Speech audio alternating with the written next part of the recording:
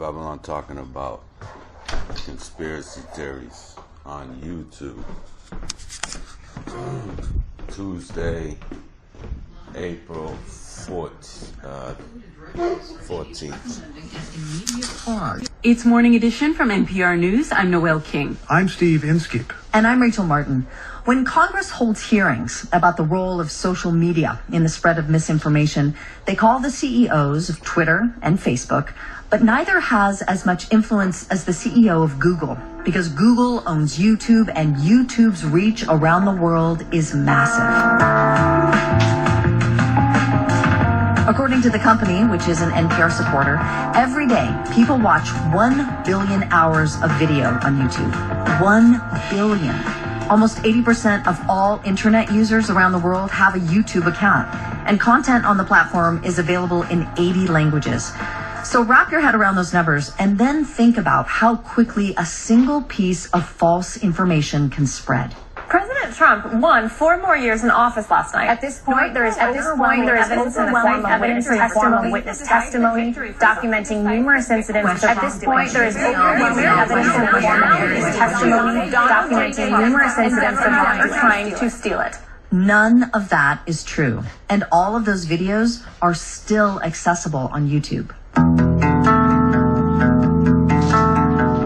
Misinformation distorts reality and it changes how some people see the world, then it changes them and their relationships. And that's what we're going to look into this morning as part of NPR's ongoing exploration of mis and disinformation. My father has always been the most gentle person that you can imagine and loving and you you didn't see him get angry a lot. This is 39-year-old Renee Ekwoge growing up in Georgia as a kid, she remembers her dad full of wonder. You know, I remember getting up in the middle of the night and it was just me and him and watching the Hale-Bopp comment, you know, when I was like 15 years old.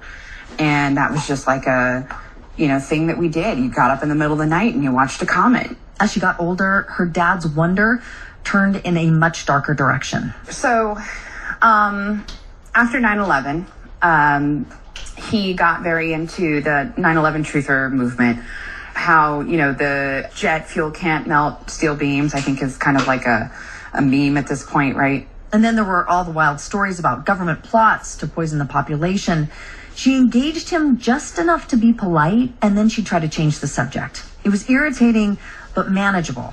And then uh, the world started being flat. Right. All these other things. Beds, you're going to kill people you are absolutely going to kill people with these vaccines. Like sending them out to the world with these psychos everywhere. Like this is up. Renee says she hasn't seen her dad in about a year. She hasn't talked to him for at least four months, and she's not sure what the path back looks like. Is a part of you grieving your relationship right now?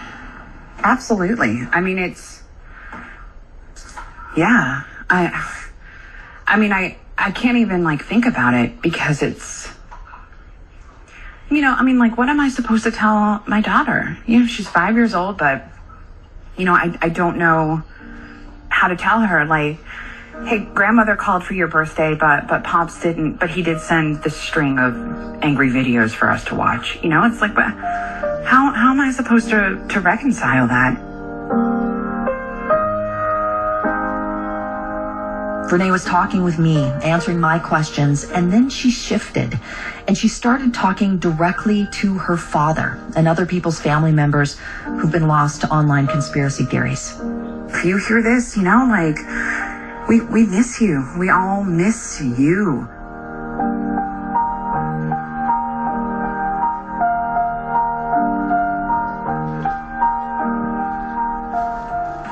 This is NPR News.